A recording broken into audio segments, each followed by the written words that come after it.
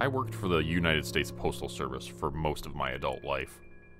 My career started 40 years ago in the sorting room, and it will end today after I post this message. They're suppressing any leaks. They might even find a way to sweep this under the rug. But I have to put it out there. If I don't, I'll never get another night's sleep. There's a good chance you'll receive a black envelope in the mail one day in the near future. If you do, please don't open it. Nothing bad will happen right then. The envelope itself isn't really special, but inside of it you'll find a white condolence card with your name and a date written in a pretty golden font. I promise that you don't want to know that date. None of us should know the day that we die before it happens. The first time I encountered a black envelope, I was in the sorting room. I remember pausing to study the paper for a moment. Besides the unusual color, it also felt different than any of the thousands of other envelopes I'd handled before. The paper was thick, almost porous, and slightly warm to the touch. It was heavy for how thin it was. When my supervisor noticed what caught my attention, she pulled me into her office and shut the door. Uh, I was hoping we wouldn't see any of those this year, Diana told me, nodding for me to sit down. I still had the black envelope in my hand. The recipient's address was printed in clean, white lettering on the front. There was no return address. Is this something special? I asked, trying to hand her the envelope. Diana jerked back like I'd offered her an unpinned hand grenade. Yes, she said. The very worst kind of special. We see one or two come through every couple of years. Some folk have been working here for a decade and aren't even aware of them. Just bad luck that you found one. I felt a chill lick down my spine. Bad luck? We have an unofficial policy about those particular pieces of mail. Sort them and forget about them. Don't report them. For God's sake, don't open them. Sort it, but there's there's no return address. There never is, Diana said, standing up. Now please get that thing out of my office. And don't mention it to me or anyone here. Hopefully we won't see any more for a long time. I did as I was told, but couldn't get the envelope out of my mind. I remember it feeling slightly damp when I sorted it into outgoing, like he was oily, even greasy. Months passed, and I managed to finally stop wincing every time a new load of mail came in for sorting. Then, a little more than a year after I'd found my first black envelope, I found another. Then another. Within the space of six months, I'd sorted a dozen of the things, always lacking return addresses, always feeling off to the touch. Diana began avoiding me. Some of my coworkers, the old hands who'd been in the mailroom since they probably used ponies for deliveries, gave me a wide berth too. It seemed I had some nasty cloud floating over me, as if I was responsible for the influx of envelopes. I began having nightmares. Vivid but smeared panic dreams full of heat and shadow and violence. The next year, I was transferred from sorting to deliveries. I suspect Diana just wanted me gone from the tiny, smoke filled, remember this was 40 years ago, room that passed for her kingdom. I was bad luck. That was fine by me. I laced up my boots, got a comfortable hat, and started making my rounds. My first assignment was to a quiet neighborhood on Maryland's shore. You've likely seen similar places gravel driveways, oak trees with tire swings, above ground swimming pools. I loved it, and I always carried candy for the kids that would rush out some mornings hoping for a package or present or special letter. I brought milk bones for the dogs, too, who were generally much friendlier than I'd been led to expect. In four years walking that beat, I was only chased by a canine once, and when the retriever caught me, it turned out that she just wanted to play. Memories of the black envelopes and my coworkers' nervous glances faded quickly against the fresh air and sunlight of my new position until one winter when I dropped off the mail to a regular. Betty Majors was a lovely woman with silver hair, and an endless parade of colorful bathrobes. She'd always meet me at the box at the end of her drive to collect her mail in person. Usually we'd stand for a minute and chit chat while she opened her letters. I was just updating her on my engagement to a beautiful girl two towns over when I saw Betty frown. She was glancing at the pile of mail in her hands. I felt a cramp in my lower stomach I couldn't explain, an emerging sense of dread as I followed her gaze. Sure enough, she was holding a familiar black envelope with white lettering. Odd, she said, carefully tearing the seal. I suppressed an irrational urge to yank the envelope from her hand. Instead, I watched her face as she read the message inside. Betty seemed confused. She looked up at me. No return address? Doesn't look like it. Can I ask? It's none of my business, but. Betty shrugged and lifted the small, square card up for my inspection. It's almost like an invitation, but it doesn't say what for. Gold letters, white stock, Betty's name, and a date a little more than two weeks in the future.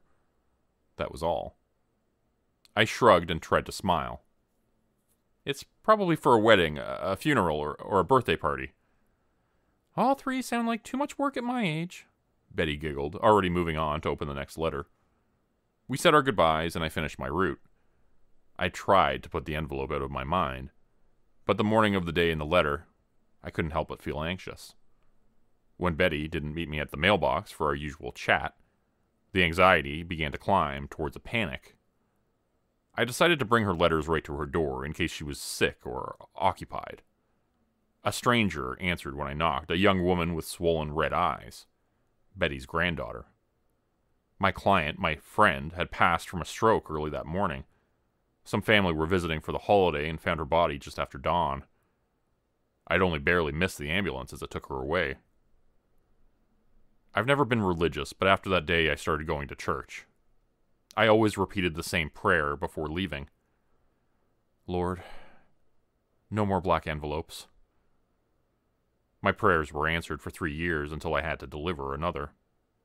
It was the same neighborhood and the same result. The man died three months after my delivery. There was another envelope the next year, another death. Other people I delivered to passed away without receiving the mysterious letters, though. I could see no rhyme or reason in it. All I could do was continue my route and say an extra prayer for anyone who received a dark delivery. Each of them died within a year of receiving a black envelope. I took solace in the fact that none of them knew what the date meant. However, judging by the fear I saw with a few folks, I worried they might have guessed. Years ticked by, and I moved from deliveries to an office to administration. I was hoping for a quiet retirement this year. Then, a few months ago, the manager of my sorting room came to my office badly shaken. Black envelopes. Dozens hundreds, more than he'd ever seen. Not all of his staff had caught on that there was something gruesome about the deliveries, but rumors were spreading. Word came from up high to slow down circulation, to act like everything was normal, basically to put our heads in the sand. Another unofficial policy drifted down to management. Lose the envelopes, trash them, destroy them. It didn't matter. We'd burn the bastards by the dumpster load, and somehow the letters would be back in the sorting room the next day. No one could explain it. No one could figure out who was bringing in the envelopes or how to stop them. The same names and addresses would show up again and again until we finally broke down and delivered them. All of this was done in secret as much as we could manage. I don't know how many people in the USPS have caught on. Maybe 10 perfect, maybe fewer. My guess is the government is afraid of mass panic if word gets out. I understand that, but I'm still posting this because no matter what we do, the black envelopes continue to flow. People keep opening them, and even if they aren't sure what the date means, I think it sticks with them. Turns up in their dreams. Eats away at the time they have left and makes them rot with worry. So I'm sending out this message and then I'm leaving. I'm going to try to enjoy the time I have left. You see, not too long ago, I found a black envelope addressed to me. I couldn't help myself. I read the date. You always think you'll have more time. Curiosity is a vicious animal. When we started getting that influx of marked letters earlier this year, I snuck a dozen of them out of the sorting room to read in my office. If you apply a gentle heat to the adhesive, it's not too hard to reseal the envelopes later without damage. A dozen names, a dozen strangers, but each of them had the same date written in that terrible golden ink. I pulled more envelopes at random over the next few months. The date was always the same. Over and over and over. Hundreds. Thousands.